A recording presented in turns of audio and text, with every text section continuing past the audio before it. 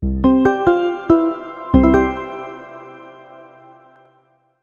Nopur 123 lagi di sini. Dan ya hari ini kembali kita kembali ke bahas segmen nostalgia ya. Kita ada di segmen nostalgia. Kita bakal bahas deck-deck yang akan terkena rotasi lagi karena udah lama kan ya udah seminggu tuh dua minggu yang lalu ya terakhir konten nostalgia tuh habis itu kena konten rotasi uh, habis itu bahas meta deck habis itu ada casual ini kembali ke uh, segmen nostalgia. Dan uh, di segmen nostalgia kali ini aku akan bahas salah satu deck favoritku yaitu deck Urshifu. Eh bukan ya bukan Urshifu lebih tepatnya deck Rapid Strike Pokemon Pokemon Rapid Strike Urshifu, Inteleon, Medicham dan lain sebagainya Octillery. Dan ini disebut Rapid Strike Box deck decknya kalau kamu bingung. Tapi sebelum itu uh, informasi dulu sudah ada channel Discord uh, kalian bisa kirimkan deck-deck yang kalian mau uh, aku buatkan reviewnya. Nggak perlu terlalu yang uh, unik indie nggak pernah tak lihat terlalu terlalu aneh-aneh itu nggak perlu. Cukup yang kalian suka dan kalau aku suka bakal aku buatin reviewnya. Tinggal kumpulin di discordnya. Di link di bawah ini. Oke kita langsung aja ke sekilas tentang deck ini. Deck ini tuh waktu pertama kali hadir gitu ya dibuat ini deck yang bisa dibilang ya udahlah gitu aja nggak bisa menunjukkan sesuatu yang baru. Artinya deck biasa aja bukan deck jelek tapi juga bukan deck bagus. Waktu di zaman kejayaannya V ya. Karena kan uh, Inteleon VMAX juga pengaruhnya di meta waktu itu nggak nggak bisa terlalu naik. Apalagi Urshifu kena Mew kan gitu. Jadi dianggap biasa aja. Tapi waktu di zamannya EX dua kartu ini jadi kuat banget di zaman sekarang ya berarti zamannya EX itu jadi kuat sekali dan diperhitungkan sekali di meta. Uh, terbukti dari peringkat uh, globalnya deck ini Rapid Strike Box itu menduduki peringkat ke-9. Peringkat ke-9 di meta itu bukan top 5 memang, tapi mengingat ini kartunya udah hadir 2 tahun yang lalu, artinya udah banyak banget kartu yang rilis di Pokemon TCG dan dia masih bisa peringkat 9 itu bagus sekali ya artinya gitu dan juga tahun lalu dia kan menang di NIC 2023 itu. NIC itu kasta kompetisi yang lebih tinggi daripada regional di dunia Pokemon. Uh, kita langsung aja ke sejarah deck ini. Awalnya karena ini segmen nostalgia kan harus ada sejarahnya gitu. Uh, pertama itu dimulai dengan Urshifu ya pastinya. Uh, kita kedatangan Urshifu Rapid Strike dengan sistem main Rapid Strike di battle style. Pertamanya Urshifu dulu. Lalu Urshifu tuh kena nerf habis-habisan. Waktu zamannya Mew Max jelas. Karena seperti yang kamu lihat ini weaknessnya adalah psychic. Dia lemah sekali sama Mew dipukul sekali langsung kalah tapi di set Mew itu hadir yang namanya Inteleon Max. Ini kartu ini ada di set Fusion Strike hadirnya gitu bukan di stack battle style. Nah eh, orang-orang mulai memasukkan Inteleon Max ini ke meta. Walaupun performanya nggak selalu nggak terlalu bagus tetap masuk meta lah ya peringkat peringkat berapa itu 10 15 itu sering ketemu dulu. Karena Inteleon ini punya dulu decknya tuh originalnya kan Inteleon Cheryl ya Inteleon yang dipakai ngeheal gitu. Karena Gmax Spiral nih setelah kamu nyerang energinya kamu balikin ke hand gitu. Terus nanti kamu heal heal total. Jadi Inteleonnya kayak nggak bisa mati gitu. Mukul ngeheal mukul ngeheal. Nah itu juga nggak terlalu berhasil. Lalu di zamannya Yax entah siapa pencetusnya seperti yang gue bilang uh, dua Pokemon ini fusion. Jadi satu dinamakan dengan tambahan Pokemon lainnya ya tentunya ya. Uh, itu dinamakan Rapid Strike Box dan itu bisa membuat dunia meta tuh berubah gitu ya. Uh, jadi seperti itu jelas penjelasannya sejarahnya. Dan kita akan masuk ke Pokemon utamanya. Uh, pembahasan Pokemon Pokemon utama. Yang pertama ada Urshifu. Urshifu ini dipakai sebagai Pokemon utama, terutama ketika Inteleon VMAX ini nggak bisa perform kondisi apa yang membuat Inteleon VMAX nggak bisa Inteleon VMAX nggak bisa perform? Itu contohnya ketika menghadapi Miraidon. Miraidon sangat meta sekarang. Dengan Iron Hands-nya mengerikan sekali itu. Di one shot langsung ngambil tiga press mati. Dan Urshifu yang merupakan counter Miraidon itu bisa dengan gampang nge-KO Miraidon ya entah pakai Guild Trust 30 satu energi tapi kalau kamu bisa majuin uh, Pokemon ini dari bench ke aktif di turnmu itu terus kamu nyerang damage-nya jadi nambah 120 150 dikali 2 kalau ke Pokemon listrik jadi 300 jadi kuat sekali gitu. Habis itu attack G-Max Rapid Flow nya juga sama sekali tidak bisa diremehkan ya. Uh, dia punya dia bisa nyerang 120 ke dua Pokemon. Nggak harus di bench semua bisa bench aktif uh, atau dua-dua di bench sering sekali tapi biasanya buat serangan bench ya. Tapi ingat ini tipe attack yang damage ke bench artinya kalau ada Manaphy ke block serangannya. Jadi uh, perhatikan keadaan deck musuh ya eh keadaan Pokemon di arena musuh ya ada Manaphy atau enggak gitu Habis ada Inteleon, ini partnernya nih, kadal air ini. Tadi kan beruang air ini. Eh, kadal air, kadal air sniper ini.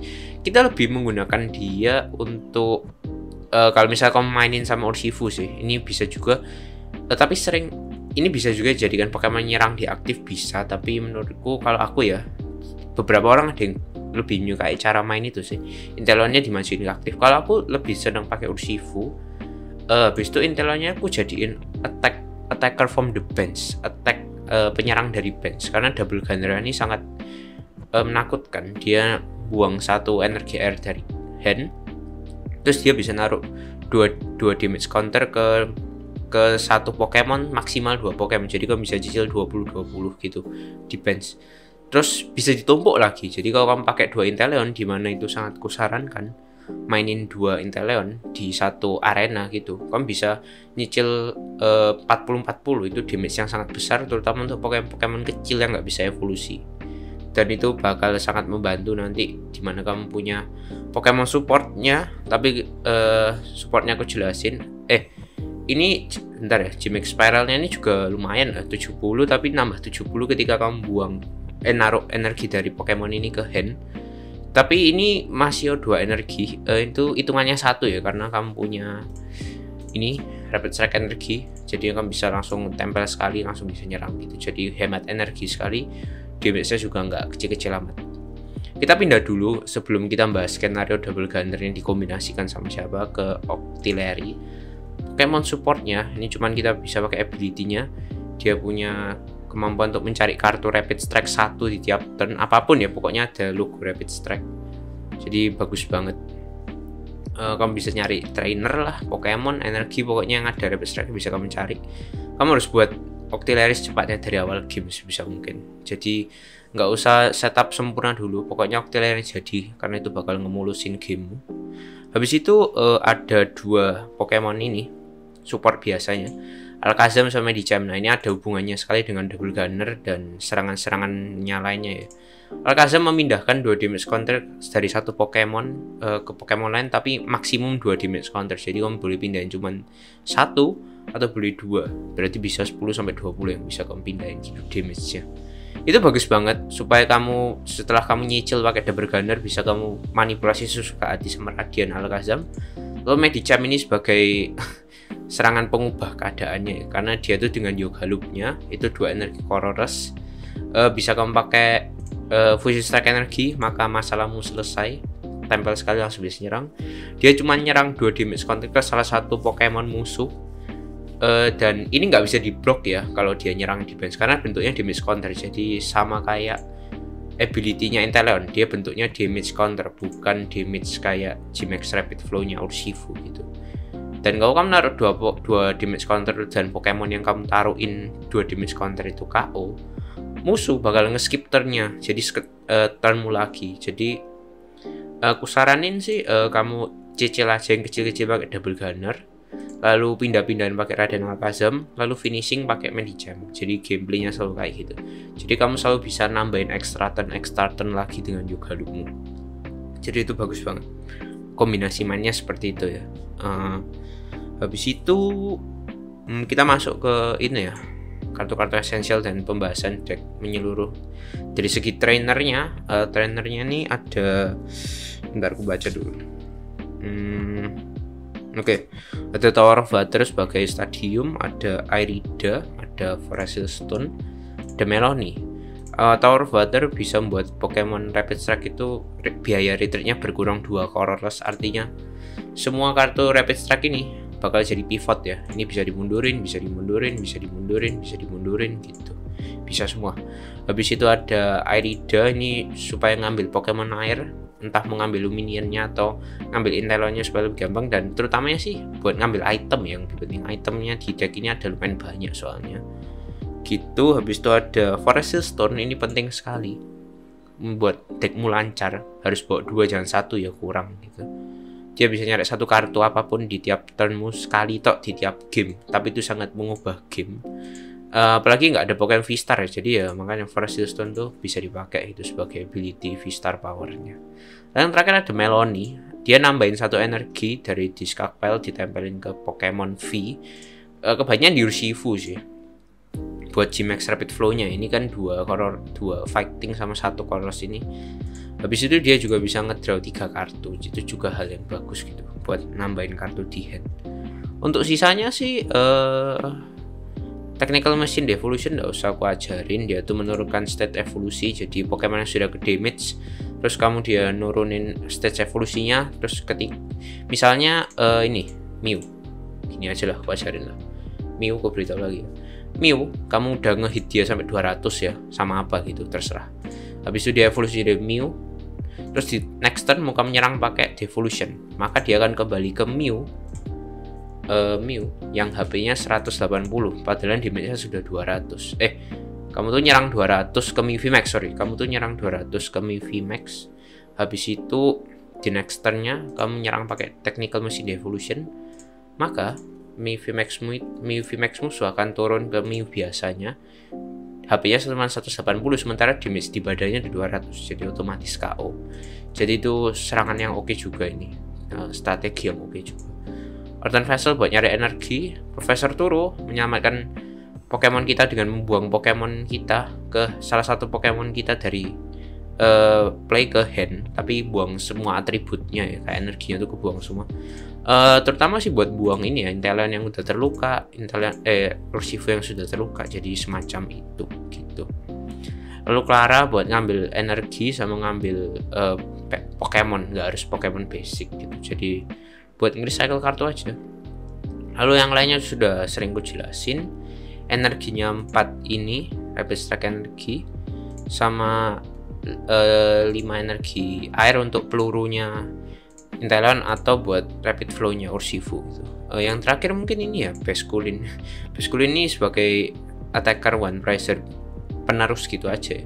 Karena dia tuh 30 damage terus damage-nya bakal nambah 10 untuk tiap damage counter yang ada di Pokemon musuh aktif ya.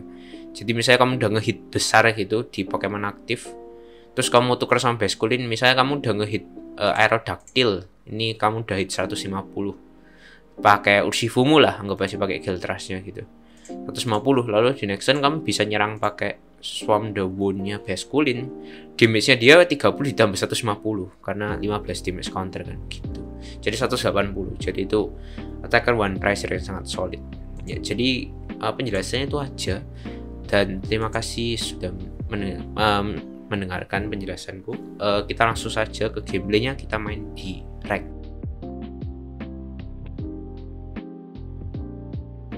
kita langsung saja gameplaynya. Dan oh ini aku masih pertama. Dan aku sudah menyelesaikan giranku ini kartuku lumayan bagus ya di sini ya. Kenapa bisa lumayan bagus? Karena aku ada Forest Stone jadinya aku bisa pakai Iono buat nge-refresh kartuku. Ya sebenarnya nggak bagus-bagus banget sih tapi oke okay lah. Dan kita melawan Dialga. Artinya apa? Ini mungkin Dialga Magnezone ya atau Dialga Lostbox yang kayak di videoku uh, dua videoku sebelum ini. Mungkin juga.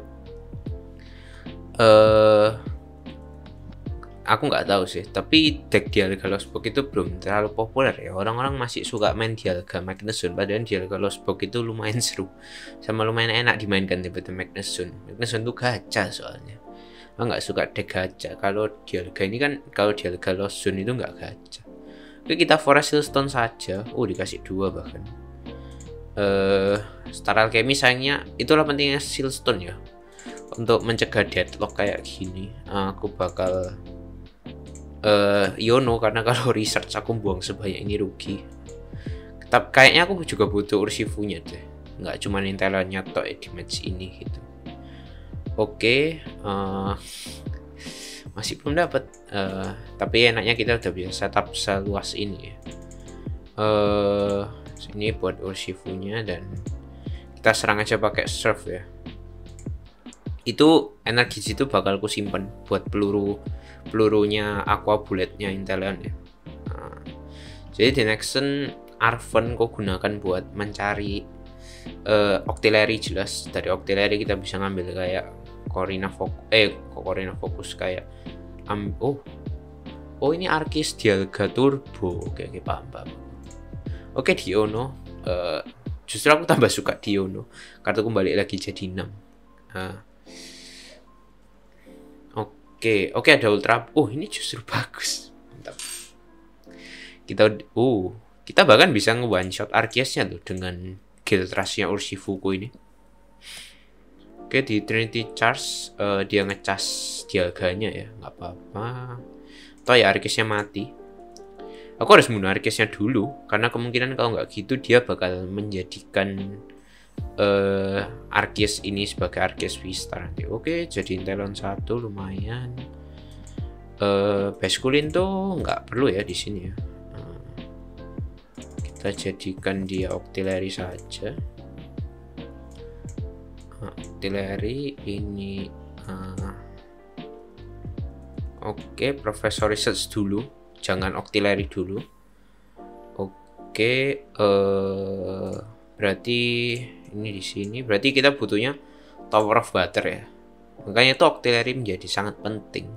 Karena dia bisa nyari semua yang kita butuhkan hampir. Uh, oke. Okay. ini mundur. Uh, aku bakal nyimpen ya. Uh, aku eh double gunner aku aqua bullet ya? Itu ability siapa itu? Ngomong aqua bullet bakal aku simpen karena dia nggak punya dua bench. Satu aja cukup. Bem. Oke. Mati. Nanti aku tunggu dia naruh Pokemon lagi baru ku double gunnerin double gunnerin gitu ya. Oke uh, ini sih waduh dia nyerang pakai temporal rapture ini dong. Harusnya oke okay, di boss uh, tapi nggak apa-apa ya. Dia ngebos aku tinggal aku wah dia bunuh tirariku oke oke oke. Uh. tapi kalau gitu apakah dia ndak? Oke dia oh dia metal coating bahkan. Dia nggak memilih untuk nyerang ya. Uh, aku nggak bisa nyicil ya. Uh, pakai octillery itu ndak bisa nyicil kenapa aku nggak bisa nyicil? Karena uh, eh aku nggak bisa nyicil dialganya karena double gunnernya di bench nyerangnya bukan di aktif. Ini Arven pakai aja dulu. Aku mau ambil ini sama eh aku mau ambil ini sama oh enggak aku TM in aja. Aku TM in sama oke. Okay. aku TM in sama iya retrieval aja lah ini aku serang lagi pakai Guild Rush Boom. Oke, 200 eh 190. Itu bisa apakah dia nggak menaruh Pokemon di bench ya? Oke, di boss order lagi. Ya, mati dong dia. Ini kan tinggal aku mundurin pakai rapid strike energy terus ku serang lagi. Ya udah menang dong ini. Ya udah kita langsung aja ke game selanjutnya. Kita langsung gameplaynya. Dan kita maju pertama ya dan oh ini sangat fancy ya.